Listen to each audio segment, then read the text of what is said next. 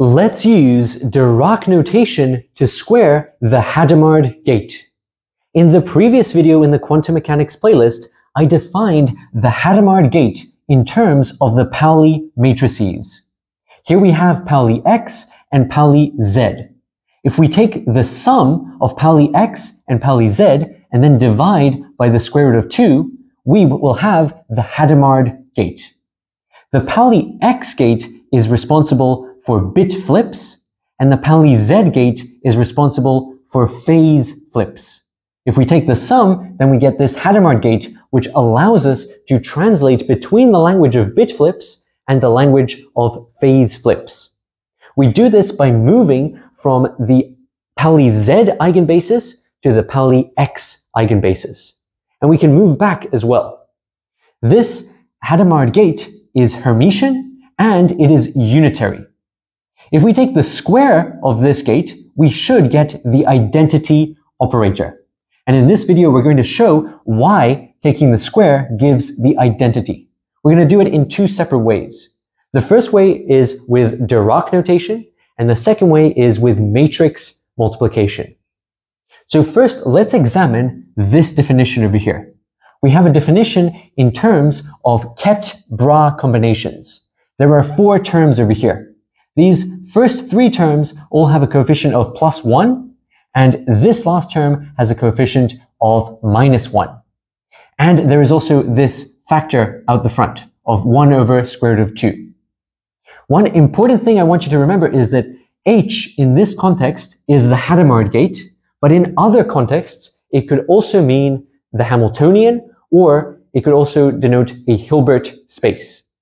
So we're not using H to denote a Hilbert space, and we're not talking about the Hamiltonian of a system here. We are talking about the Hadamard gate. So that is what this capital H denotes.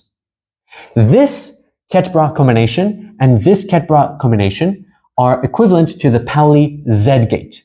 These are both diagonal entries if we were put, if we were going to put this in a matrix representation in the Pauli Z eigenbasis. So that's these two terms.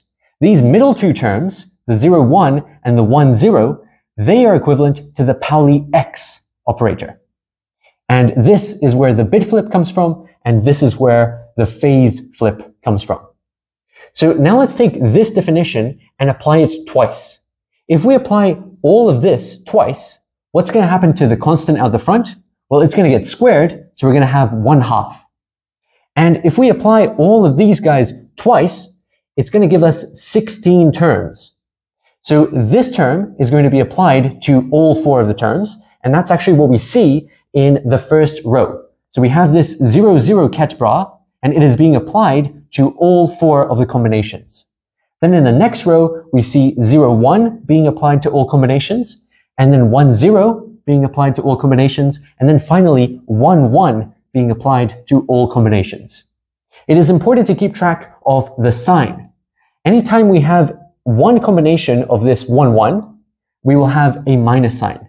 But if we have no uh, combinations of 1, 1, then we will have no minus sign, it will be a plus sign. And if we have two combinations, if we apply this twice, we will get back to a plus sign. So that explains this plus sign over here. This plus sign is the consequence of two minus signs. And all of these guys are the consequence of one minus sign. So that's minus, minus, minus, and minus, minus, minus. If we examine these two Ket-Bra combinations, we can see that if you put a Ket-Bra and a Ket-Bra next to each other, the middle becomes a Bra-Ket. So we have a Bra-Ket in the middle of these two Ket-Bra combinations. A Bra-Ket is Dirac notation for the inner product. So this over here is the outer product. Ket bra is the outer product, and that allows us to construct an operator which acts on states. But a inner product over here is going to evaluate, and that in general is going to give us a complex number. But we're taking the inner product of some very special states. These are the computational basis states, and they have been chosen to be orthonormal. So if we take the inner product of any of these states, we're either going to get 1 or 0. We're going to get 0 if the states are different, and we're going to get 1 if it's the same state. So in this case over here, we have 0, 0, that's the same state. that evaluates to 1.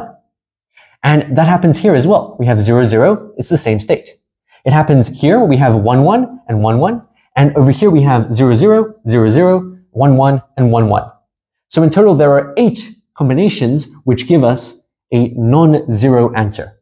All of the other combinations have either 1, 0 or they have 0, 1. And that is going to evaluate to give 0. So that inner product evaluates to 0 because those two computational basis states are orthogonal to each other. So I have underlined in red the only non-zero contributions. And I've also uh, written them down here with all of this stuff disappeared. So all of the inner product business has just been evaluated and that's given one. So then all we have to do is take the, ket over here and the bra over here, put them together, and that gives us a new ket bra combination. So this gives us 0, 0. So we have the 0, 0 ket-bra combination. Then we get a 0, 1 combination over here. That's 0, 1.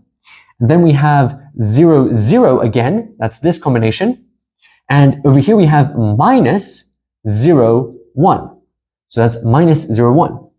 And finally, we have this bottom row, which comes from 1, 0 over here. That's 1, 0.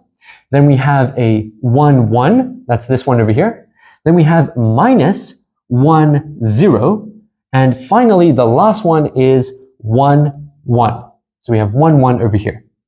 I want you to notice that anytime we have a mixed term with 0, 1 or 1, 0, that's actually going to cancel because we have a plus sign over here and a minus sign over here. So this plus and this minus cancel, and this minus and this plus cancel. That leaves two copies of this 0, 0 combination. We have one copy here, one copy here, and we have two copies of the 1, 1 combination. And so that is the same as putting a coefficient of 2 at the front. And that coefficient of 2 can be factored outside the brackets, and it's going to cancel with this 1 half. And once it cancels with the 1 half, we're just left with this over here we have this projector, which pro projects onto a subspace spanned by this vector labeled by zero.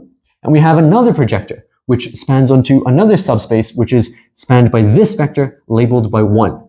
If we take the sum of these guys, that is the same as the identity operator. If you act with this operator on any qubit state, it is going to uh, not do anything to that state. The state will remain unchanged. That is the definition of the identity operator. You can see that this takes a lot of work. You have to write down a lot of kets and bras, and you have to be very careful and evaluate inner products. So for this case, it's actually simpler to write the matrix representation of the Hadamard gate, and then just to perform matrix multiplication. So if we were to write this definition in terms of its matrix representation, we would see a factor of 1 over the square root of 2, and then we would see this combination. And I've just written this combination twice because we're squaring it, and the 1 over square root of 2 becomes a half. So if we perform this matrix multiplication, we will get 1s on the diagonal and 0s on the off diagonal. This is the matrix representation of the identity operator for a two-dimensional Hilbert space. So you can see that this is a lot more compact than all of this stuff in Dirac notation. Sometimes it is simpler to deal with Dirac notation, and sometimes it is simpler to deal with the matrix representations. Note that anytime we have a matrix representation, we are doing it in a particular basis. This matrix representation is being done in the computational basis, and the computational basis consists of the vectors labeled by 0 and 1. They are the eigenstates of the Pauli Z operator. They have eigenvalues plus 1 and minus 1. The zero state has eigenvalue plus one, and this one state has eigenvalue minus one. So it's very important to realize that when you have an inner product, it is completely different. It's a completely different object to when you have an outer product. So this zero-zero combination over here is a completely different mathematical object to this combination of zero-zero. That's because the ket and the bra are in the opposite order. This is a number in general, it's a complex number, but for these cases, it's either 0 or 1. And this over here, this is an operator which acts on states. So we've seen how Dirac notation can be used to perform a computation. So Dirac notation is very beautiful and it's very convenient. But sometimes it is faster to just deal with matrices, especially when you're multiplying and there are many terms. Instead of dealing with all of these 16 terms, you can just do the quick trick of matrix multiplication to get these four entries in a two by two matrix. We will be using Dirac notation and the matrix representations of operators and states in later videos in the quantum mechanics playlist. You can find all those other videos in the quantum mechanics playlist if you click over here.